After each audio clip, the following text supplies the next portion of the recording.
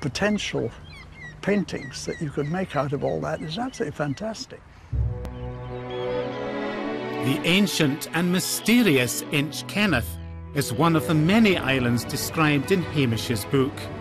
For centuries, people have come here to find peace and sanctuary. Inchkenneth is one of the most historically important islands in all of Scotland. And like Iona, it was once a significant religious centre. And as a result, there are a number of high status burials surrounding the island's ruined chapel.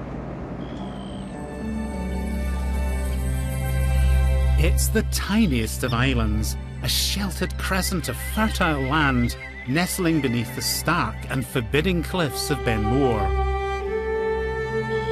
As well as high-ranking members of Clan Maclean, kings of Scotland and Norway are also buried here.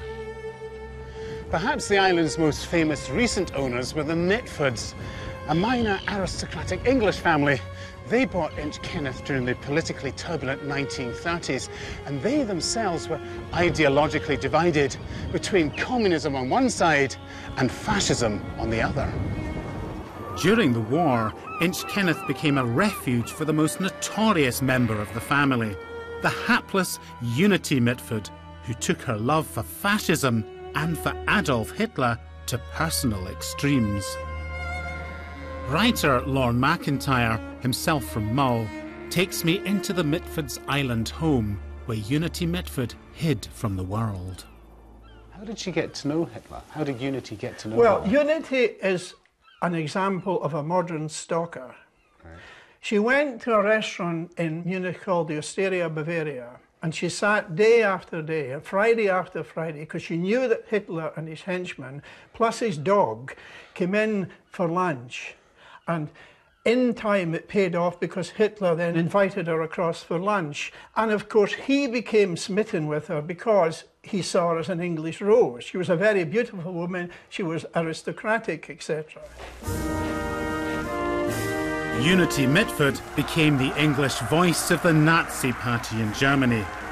In the lead up to war, she addressed mass political rallies and delivered anti-Semitic speeches. She was infatuated with Hitler.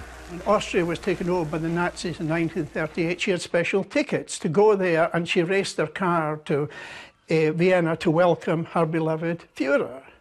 She so, was, for, for oh, unity, oh, yes, Führer was the beloved Führer. Oh yes, a beloved Führer. To the end of her days in this house, Hitler could do no wrong. When Unity was told about the millions of Jews that had died in gas chambers, she said, not at all, they died in an epidemic. Idealizing the Fuhrer, Unity loved being at Hitler's side. But when Britain declared war on Germany in 1939, her world fell apart. How did Unity react when war was declared on Germany? She had a little revolver. She went into the English garden on the Sunday morning in uh, Munich and she shot herself in the head because she said she could not bear her beloved Germany and her beloved Britain to be at war. Unity was a broken woman when she returned to Inchkenneth with a bullet lodged in her brain. Her condition and the remoteness of Inchkenneth made Unity an exile from the world. Isolated and alone, she spent the last few years of her life in a fantasy world, conducting imaginary services in the ruined chapel and staring out to sea, perhaps in the hope of signalling to a passing U-boat. The end came in 1948. She contracted meningitis and was taken to the mainland where she died with a bullet still in her brain. She was just 34. It's time to put some distance between me, Inch Kenneth, and the doleful memories of sad unity.